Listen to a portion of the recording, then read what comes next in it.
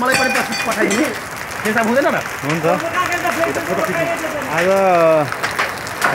दुई हजार असी असी साल। जेठ महिनाको आज छ गते।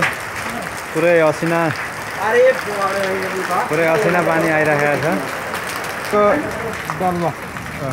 असिना आहा कस्तो त चिसो रहेछ। तातो हा बाफ उडिरहेको छ। यत्रो यत्रो असिनाले हामीरहेको छ असिनाको दृश्य हेरिसाध्य छैन।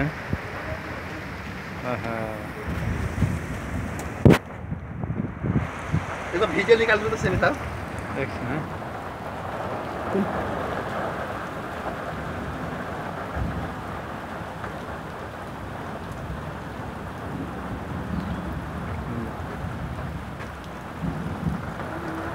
लिचीको रुखमा भन्दा खेतमा धेरै आयो रुख- रुखी लिची लटरमै थियो यस्तो तनावै बनायो।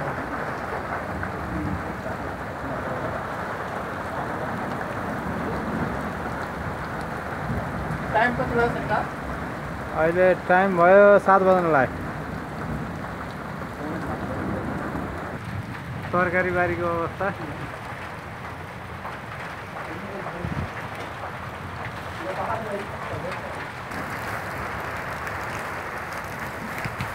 Okay have a nice day